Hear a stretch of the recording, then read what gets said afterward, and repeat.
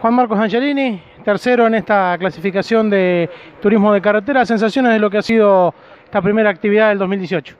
Bueno, ¿qué tal? Buenas tardes. La verdad que bueno, muy buen comienzo, un gran entrenamiento, una muy buena clasificación. Tal vez nos quedamos con un poquito de ganas de pelear el 1, pero tuvimos que abortar la primera vuelta que encontramos la pista muy diferente. Así que bueno, en la segunda vuelta traté de asegurarla hicimos un buen registro que nos permite estar tercero y bueno, realmente con buena expectativa en función del fin de semana.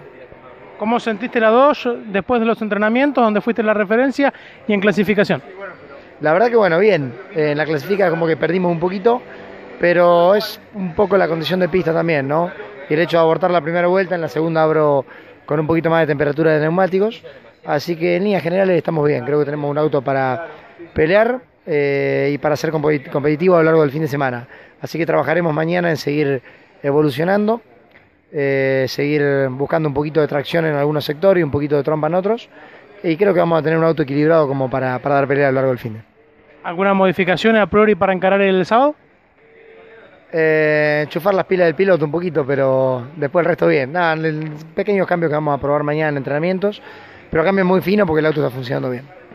Tati, gracias por estar en Mundo Sport y que sea con suerte el resto del fin de semana. Muchas gracias a ustedes por el contacto como siempre. Un cariño para todos y un muy buen año.